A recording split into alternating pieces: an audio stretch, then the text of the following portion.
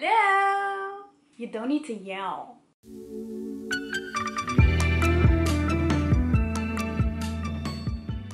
Hey, hi everybody, it's Lalaine Adanna, hello, and it is the last video of 2018 and I don't know about you, but I'm super excited that this year is over. It's been a binge. So today it's time for the December wrap up and I read a total of 12 books aka I mostly listened to it because I was driving. I'm an adult. Can't read and drive at the same time. I don't know what you. So I was listening to a lot of books. Yes, my hair looks funny because hello. It is drying, air drying, so yeah. You have to deal with this hair hairdo, okay? Okay anyway so yeah let me share with you the audiobooks that i listened to basically i think i read two physical copies and that's it and I will show you my January TBR. I'm gonna do that in one.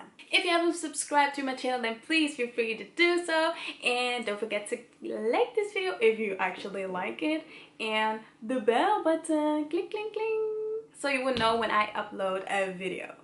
So I don't know about you with the fireworks and all, but yeah, it looks really pretty, but I hate the bomb sounds that are so hard. I'm like, and my cat is also like that. So I'm sorry, cat. I'm not giving you the best energy today. He is hiding. My other cat is with my neighbor. I'm gonna celebrate New Year with my parents and my sister. So I don't know what you're gonna do. I hope you're gonna have an amazing time. But let's get on to the books. So the first three books really? That was my little sister. She was like, where the fuck are you? We're eating. I'm like, um, I'm still filming. The first three books that I read are by Harper Lin and it's the Granny... I don't know what series it's called, but it's it is Granny's Got a Gun, Granny on the Cover, and Granny Strikes Back. And it is a super sarcastic granny who is retired. She used to be a CIA CSI agent and she is so awesome. She moved to this town where her son lives and her grandson so she can be with her family. Her husband had died. He was also a CSI agent. CIA, CIA agent, CSI, uh, what's too much tele? So she thinks everything is going to be peaceful and quiet and she can just enjoy her retirement and she got a cat and then murders start to happen around her town and she's going to find out who it is and I absolutely enjoyed it. I laughed out loud while I was driving so that was a really easy listen to because I feel really weird when I say read because I didn't read a word. The next book that I read is Guru by RuPaul. Uh, read, listen to he is my all-time inspiration he's my number one i've learned so much from RuPaul and every new book that he has i need to have it i need to listen to it i need to read it and i listened to this one and it was just some really good reminders about having some confidence, being sassy, but at, the same time spread a lot of love, love yourself, taking care of yourself and people around you. And I just, I just absolutely love him. Just, I love you, RuPaul. Then the next book that I listened to well done. It's Lily and Dash's Book of Dares. Some booktubers recommended this as a really good read for the holidays and I don't know who it's by. I didn't write that down, I'm sorry. But I will leave it, a picture of it in the screen here. But it was really cute at the beginning and in I think towards the end I was like, uh, this is getting a bit bored. But eventually I enjoyed the story. I didn't love it. I'm also not gonna listen to the next book after this one but I like the idea that they had. It was two people and there's this one notebook and they're gonna write and give each other theirs and they're gonna exchange the notebook through friends and through places and it's really cute and really fun but it was to me not amazing. Then I read Presence by Amy Cuddy and it is a book that I read on my phone really weird because my phone is broken so it was really hard to read it but it is about how to be more present how to have more confidence. Stop with the firework.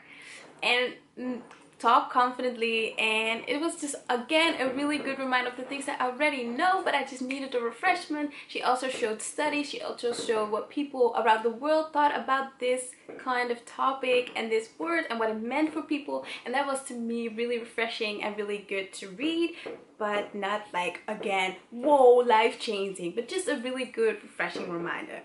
Then I read Notebook that was also in my reading vlog. I enjoyed that story even though nothing really happened. I thought it was beautiful. It also made me cry because I thought, oh my god, it was so lovey-dovey and it was so cute that I absolutely enjoyed it. Then I listened to Blame It on Bianca by Bianca Del Rio, also one of my favorite drag queens out there. And I think he is hilarious. And people sent it out all kinds of questions and he would give you advice. Well, it was not the best advice but i laughed out loud while i was roaming around my room. I seriously love love love this man and i hope that i can one day finally go to a show because every time he's here in holland it is sold out. Then i listened to the poet x by elizabeth Acevedo, if that's how you say it. I'm sorry if I your name wrong, but that book, everything was like spoken word. It sounded so, so beautiful, and her story, oh my god, it made me cry towards the end because I was like, oh my god, this is just about a young woman finding her voice, and the family dynamics were very difficult, but I really liked it because it was so well done and so beautifully written it was like it was a poem every single page and I think that's amazing when you can write in that way. I really recommend to go and listen or read that book. I think it is amazingly done. I really really enjoyed it. Then I listened to Dinosaurs Before Dark because I needed to listen to something quick and funny because I wanted to gain my reading goal. Yes, I have it for 50 books, but it was just a really quick kid story. It was a story about a dinosaur and and two little kids and they they went to this tree house and then they went into this world with dinosaurs and I just absolutely enjoyed it even though it was not that long but it was still like a child's book so I was like why not and I absolutely enjoyed myself. Dinosaurs Before Dark was written by Mary Pope Osborne and I just again I really enjoyed it and I can't wait if I hopefully will have kids in the future to read these stories to the kids. And the next book is also a child book and it is George by Alex Gino.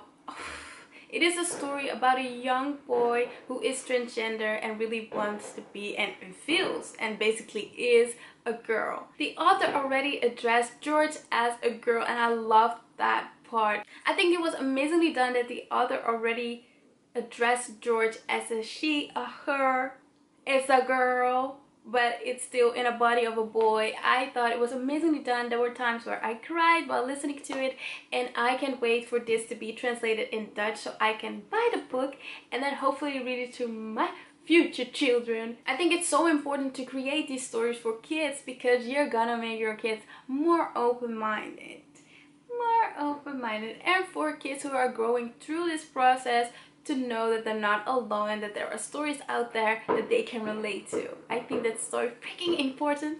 Muy importante. Yes. Oh, see. and then the last book that I read was The Vegetarian by Han Kang and I just read this today in one sitting. Haven't done that in a really long time just to read and sit and just read my ass off and I just had like the ASMR room not the room on but there's another channel and they have like this tea room and I just felt really cozy while reading this depressing masterpiece.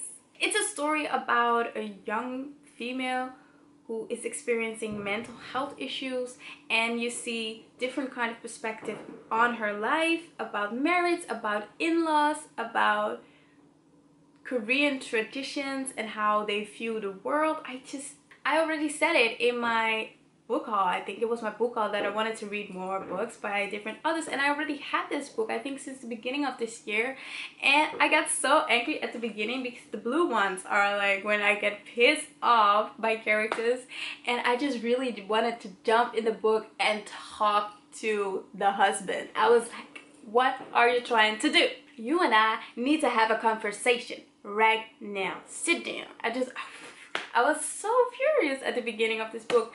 And trigger warning, there's rape involved. So if you can't handle those kind of stories, then please don't read this book. But it won an amazing prize and it is amazingly written and what I thought was the most beautiful part was when the woman spoke but she spoke only of her dreams was that it was written so beautifully. Then on to the books that I want to read in January. So the first book is The Savage Song by V.E. Schwab. She's one of my favorite authors. I have this book for a very long time on my shelves, so I picked just a few books up that I really want to read. This is a story about Kate Harker and August Flynn, and they are the hires to a divided city, and all that Kate wants is to be ruthless as her father, and August just wants to be human, as good-hearted as his own father. So I think we're gonna be taken on a journey and see them battling their demons inside and gain whatever they want to gain. Um, I absolutely love VE Schwab, even though I haven't read Vicious yet. And it's so hard to get because every time I want to order it, it's like it's gonna be here in like three weeks. And I'm like, no, I don't want it to be here in three weeks. I want to have it now. So I'm constantly postponing it, but I have it on Scribd, So I think I will read it there. But until that day, The Savage Song by V.E. Schwab.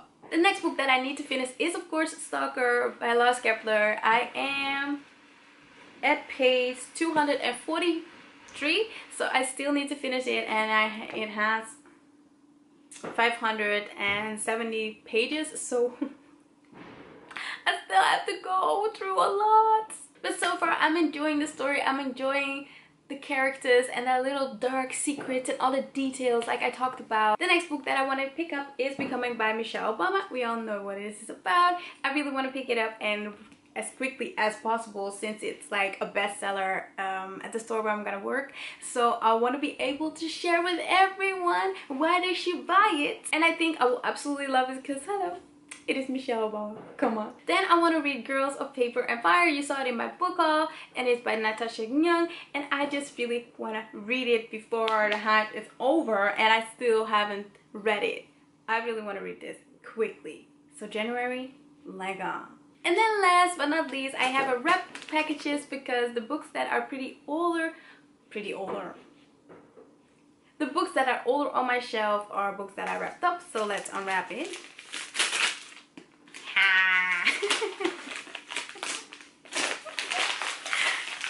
I'm cracking up because this is so what I need since I'm going to be an assistant and I'm a pretty nice girl.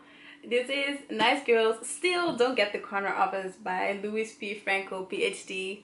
I really wanted to read this book and I never really picked it up, but uh, I was a CEO, then I was a floor manager, and now I'm an assistant manager, and yet I still experience that there are moments where I'm still too nice and I'm like, oh, so when I'm like being really gentle with people, they think it's like a fucking play playground. So in this book, she will share with you how you can still be yourself, but be more firm and, you know, be more the boss that you're supposed to be. So I can't wait to dive into this and read it. I think there are also some things you need to do, so this will be a really fun read and hopefully I'm gonna learn a lot of things from it. So this was my December wrap up, mostly audiobooks and my January TBR. I hope you have an amazing transition into the new year. I wish you all the best. I wish you all a happy new year. And I wish myself a happy new year fuck 2018 we learned a lot. I know for a lot of people it was a shitty year but so full of a lot of life lessons that we needed. So let's get on with it. 2019 i'm ready. I don't know about you but thank you all so much for watching. If you love this video then please give it a thumbs up. And thank you for watching. So see you in the next. Out